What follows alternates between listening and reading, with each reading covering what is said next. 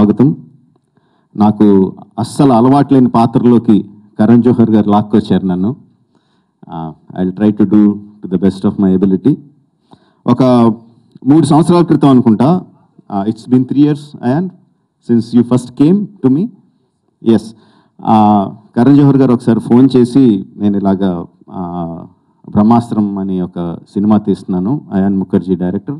అంటే అఫ్కోర్స్ అప్పటికే వినున్నాను దాని గురించి. ఒకసారి మిమ్మల్ని కలుస్తాడు ప్లీజ్ గివ్ హిమ్ టైం అన్నారు. సో అయాన్ వచ్చాడు నా దగ్గరికి.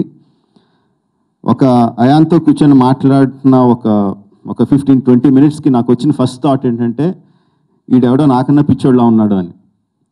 You know I thought this guy is crazier than me okay అంటే తను ఆ సినిమా మీద తను ఇన్వెస్ట్ చేస్తున్న టైం కానీ టైం కాదు time is a small thing తను పెట్టుకున్న నమ్మకం తను పెంచుకున్న ప్రేమ.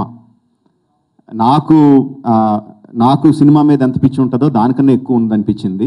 దెన్ సీరియస్గా తీసుకోవడం మొదలుపెట్టాను.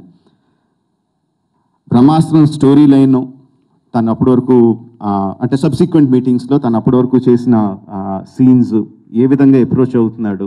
తను చెప్తుంటే ఒక బ్రహ్మాండాన్ని క్రియేట్ చేస్తున్నాడు అనిపించింది.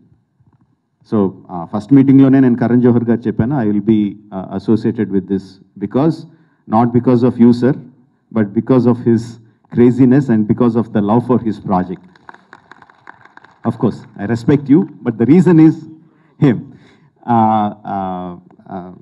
So Brahmastra గురించి ఇంకా ఫర్దర్గా మనం ఇంకా మాట్లాడుకుందాం బట్ ఆ ప్రేమ తనకున్న ప్రేమని మీకు కూడా చూపించాలని ఉంది inviting Ayan on to the stage please Ayan come here